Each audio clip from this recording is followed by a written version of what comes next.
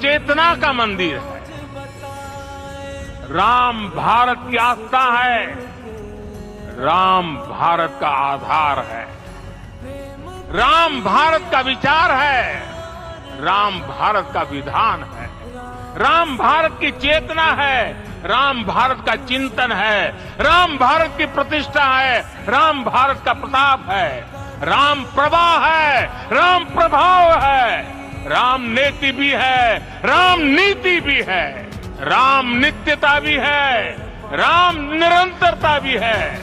राम विभु है, विशद है, राम व्यापक है, विश्व है, विश्वात्मा है।